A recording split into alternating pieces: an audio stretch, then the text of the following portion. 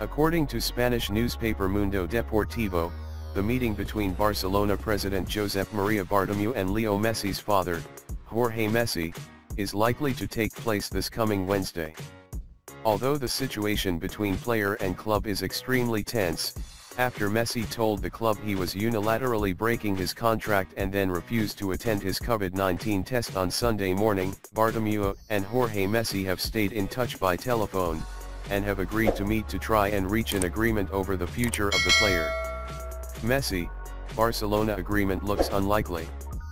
That agreement, however, looks hard to reach amicably right now. Messi wants the club to agree to his departure, with, it has to be expected, whichever club he is moving to paying Barcelona some amount of money, even if that is short of the 700 million euro buyout clause Barca consider is in place.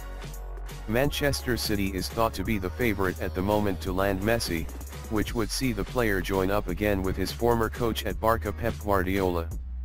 However Bartomeu does not want to contemplate Messi's departure from the club and is willing to stick rigidly to the 700 million euro buyout clause on the grounds Barcelona are convinced Messi was not too able to unilaterally break his contract. Messi and his legal team consider there is no buyout clause as the player was able to break the contract. Barcelona's position appeared to be strengthened on Sunday when La Liga backed their stance and said the contract was still in force along with the buyout clause. Bartomeu's strategy is understood to be to go back to discussing a contract renewal for the player with Messi's father in a bid to entice the Argentinian to stay.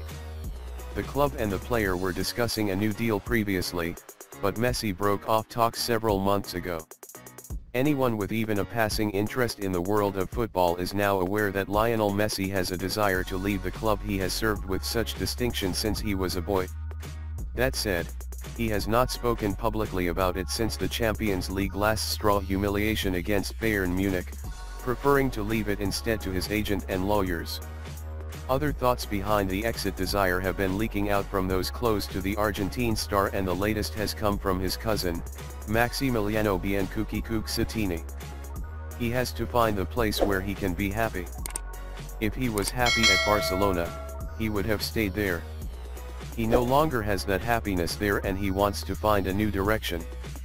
It's his right to do so, said Biancucchi, via Deportes Cuatro. With the specific direction of his future lying at Manchester City, the cousin points to the quality of football being key. I would like to see him in a team that plays well. I am passionate about good football. Of all the teams that have been suggested, I feel that Manchester City would be a good fit.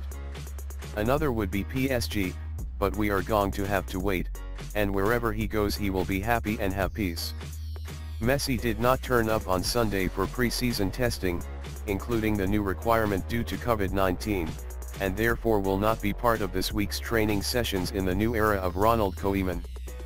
A showdown between Barca and Messi is due for Wednesday.